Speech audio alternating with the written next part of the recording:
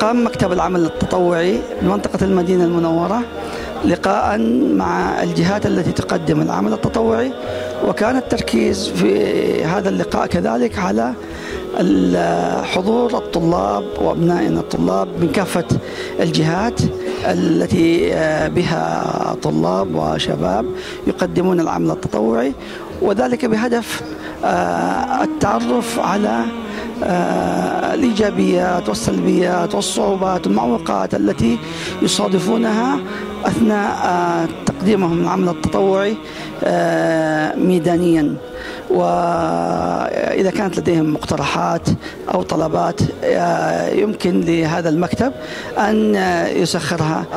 أتوقع أن هذا اللقاء سيكون بداية لهذا التواصل الكبير الذي لا شك أن المكتب العمل التطوعي تحت توجيه من سمو أمير المنطقة منطقة المدينة المنورة الأمير فيصل بن سلمان حفظه الله.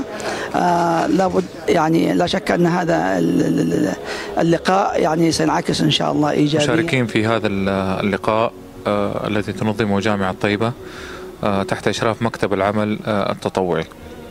تقدم الكلية التقنية مجموعة من البرامج كمسؤولية اجتماعية وأعمال تطوعية لخدمة مجتمع المدينة المنورة في التدريب وفي الاستضافات وأيضا نشر ثقافة الأمن الفكري وثقافة التوعية والسلامة التقنية والمهنية. طبعا يعني يشرفنا حقيقة حضور اللقاء هذا مع الشباب الممثلين للأندية التطوعية ونسأل الله سبحانه وتعالى أنه يكون لقاء مثمر وبناء.